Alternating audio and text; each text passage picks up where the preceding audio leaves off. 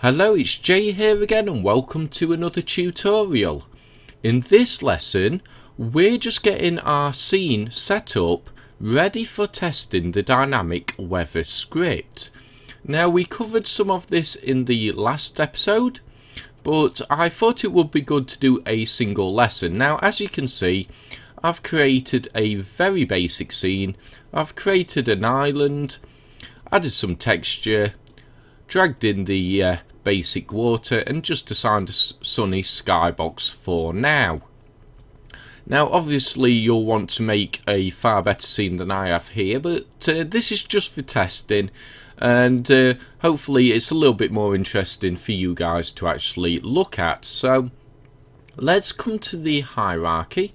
As you can see I've created a game object of environment and that's where I've dragged and dropped the water and terrain onto.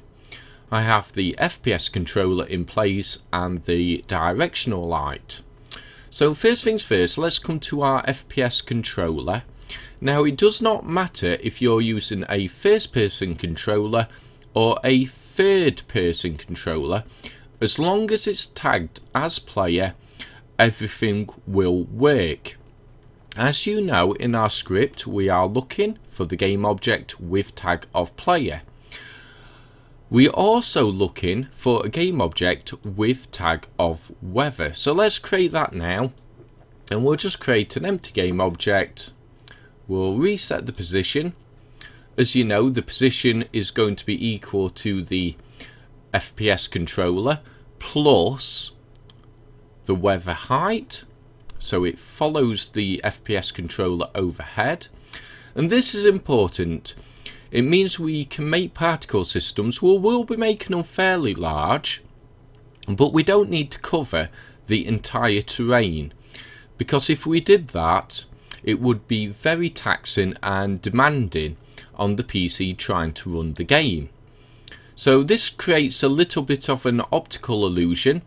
It will look like, for instance, it's raining everywhere, but in fact it's just a fairly large particle system following the player overhead. So we'll come to this empty game object and we'll rename it as weather. And we'll also assign the tag of weather that we created in the last lesson. But if you haven't already done this, go ahead, click on add tag, the little plus icon, and there you can create a new tag. I've already done that, so I'll get rid of that for now. Now, what will happen is the particle systems that we create will be attached to this game object in the same way the water and terrain is attached to this one of environment. But that will be at a later date. And the last thing we need to do is come to directional light. And we can drag and drop our dynamic weather script onto it. Now we'll be creating particle systems at a later date so you can leave these blank for now. But in the meantime I suggest you all find audio clips for each one of the weather states and assign those in the inspector and you will also need to set the fog colour.